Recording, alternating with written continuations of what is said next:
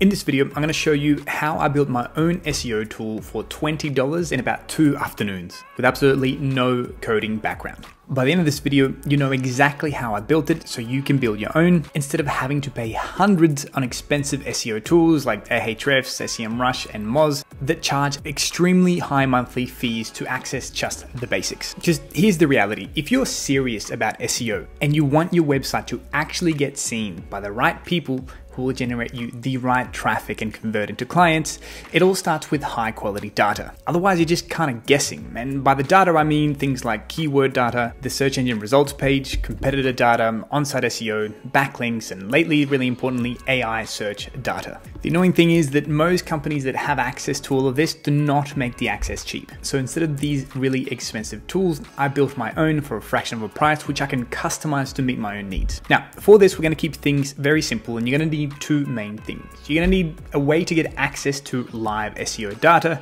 and you need an AI coding tool to put all this thing together and make your custom SEO tool. So let's set up our first thing that we need, and that's access to real-time SEO data. You've probably heard me talk about this one. We're going to use DataForSEO. There's a couple of reasons why I really like this. One of them being this is a pay-as-you-go type of application, meaning if you don't use it, you don't pay for it. You put a couple of credits in, and you can kind of forget about it. And also you get $5 free credit when you first sign up, which goes a long way in DataForSEO. Make sure you use the link in the description below. So what you wanna do is log in and create an account. When you log in, you'll have a dashboard that looks like this, except you won't have so much balance here. You'll have about $5 or $1, depending on the link that you use to log in.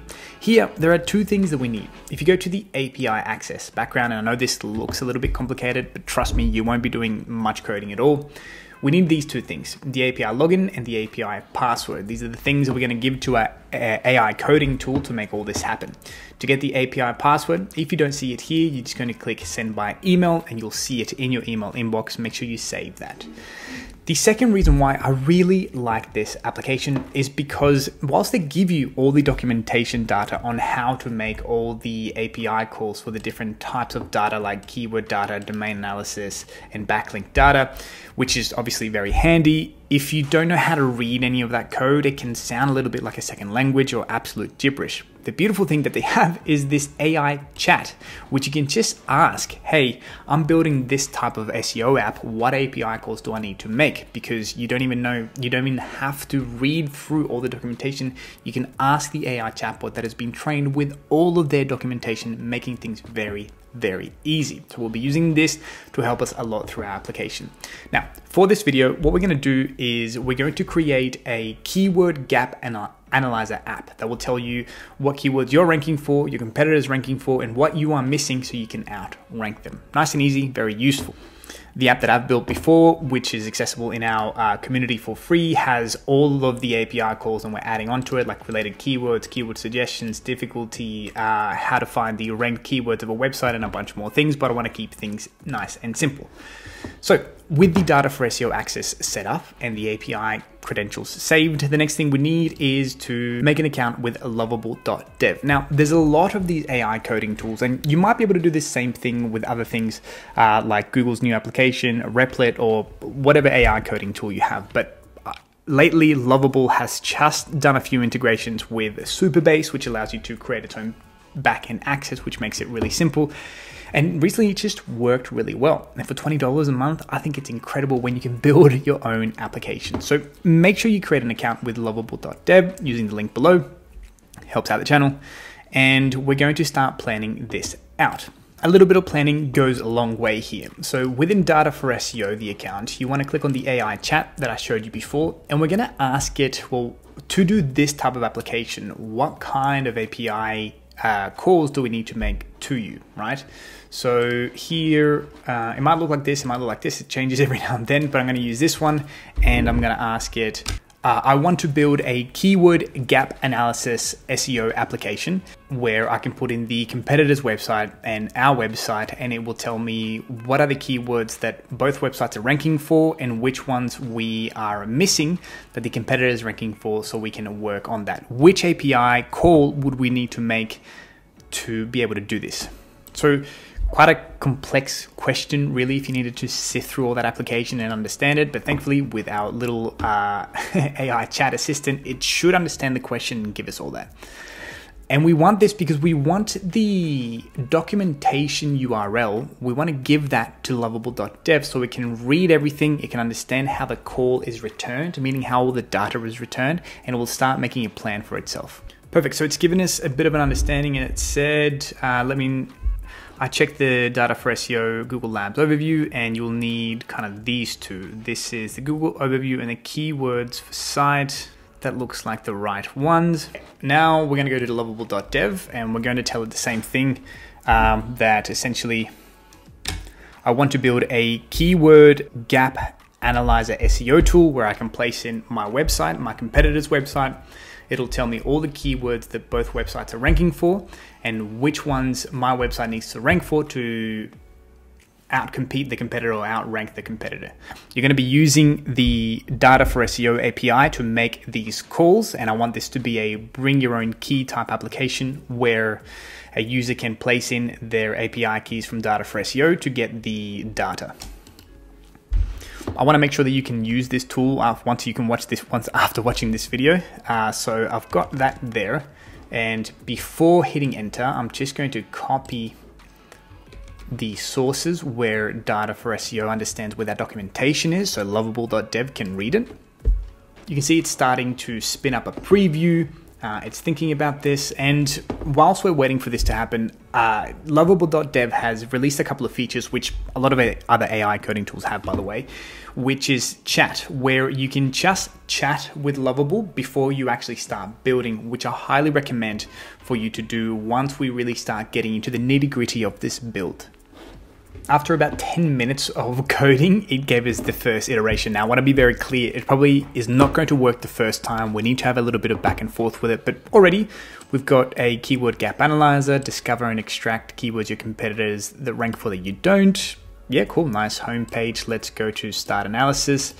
Great, so we need the API login and then we need the API password that I told you to save. This is from DataForSEO. So I know the login uh, and the password I've actually saved here. Okay, uh, validate and continue. Okay, so your website and the competitor's domain. Let's test this out. So I've got two websites that we're going to test this out on. Uh, they're both digital marketing agencies in Melbourne. So this one, let's say we want to rank. Uh, I'm going to go back to our application the website and then the competitor's website in this example. I'm going to go back here. Uh, perfect. Start keyword gap analysis. Let's see what happens. Perfect. So we have an issue and that's fine. That was going to happen. Uh, we're going to say uh, turn this into chat mode so that it doesn't start building right away. I want to say when I tried to do the gap analysis, we got an error. Can you please investigate and see what's going on? Once it came back with the fixes, it understood that it missed out on putting the target location. Now, since both of these websites will be in Australia, we need to make sure that the target location is Australia. And let's see now if it's going to work. Uh, start, start the gap analysis. Let's see what it comes up with. Hopefully we get a list of keywords that we or the uh, website that we want to rank for there you go, has all the keywords. So it's found a lot of opportunities here. These are all the keywords that uh, the website that we want to rank is not ranking for and the competitors are. Wow, yeah, okay. This is already really good considering we're just going back and forth and there's so many. Now what I probably want here is a lot of this other stuff isn't really making sense and if we click through this, there's not really much added component here. Huh, what if we go and test this out? If we go to pin yeah, okay. That's working. I didn't even give it that idea to filter through the keywords. That's great, actually. I do want one more perspective. I want to be able to download all of the keywords that I'm missing for, and I wonder if I can actually place the search volume for those keywords. Let's, oh, I can actually export those CSV files. Let's see what that export looks like, actually, if it's really useful or not. Perfect, so now I have all the keywords that the website we want to rank for is not ranking and the competitor is. It did that without even thinking. So I wonder if we can display this really isn't working. Um, let's say we want to understand I mean, these aren't working as well and these aren't working. So let's tell it that and see if we can make this either a little bit more clean or more useful with these items not working. So the call works, but the top items like the high opportunities, medium opportunities, and the average search volume at the top is not working. Can we either remove those or change them for something a bit more useful? And by putting them on the chat feature, we're going to make sure that we just have a back and forth conversation before it kind of changing all the code in the background. I just wanted to analyze it first so we don't waste too much conversation as well. You want to make sure that you say that as much as you can and you can see that it found the error and it'll see if it can fix it. Let's see what happens. Okay, so after analyzing the cause, it seemed to found what the issue was, and now you get this option here to implement the plan. Because remember, we're still in the chat version. Here, I'm gonna ask it to implement the plan. It'll take a couple of minutes, and let's try it out once it's implemented the new fixes. Okay, now let's try the last iteration. Uh, let's do one more test here after it's done the fixes that we asked it to do. We're going to go and set all the inputs, start keyword gap analysis, let's see what it comes out with. It even has the loading uh, kind of animation. I think it's honestly really good. It's getting to the point that if you've got an idea for an app or if you're paying for an expensive one, you can build your own. And now we got something really useful. We've got the keywords that we're not ranking for, we got the search volume and the difficulty and even the opportunity.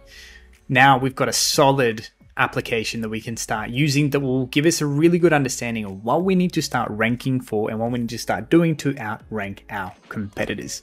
And it took us a matter of minutes, $20, and we don't even have to pay for those API credits from DataForSEO because we get $5 free and we probably used a few cents, not even that. How good is that? So now in a few minutes, we've managed to build our own custom SEO tool that we can add more functionalities to it as we want. Now, it's one thing getting all the data, but it's a completely other different thing knowing what to do with it and turning that into an actionable insights. Now, thankfully, I've done a three hour long SEO tutorial you can watch here that will help you through that, turning data into actionable insights to get you traffic that converts into clients.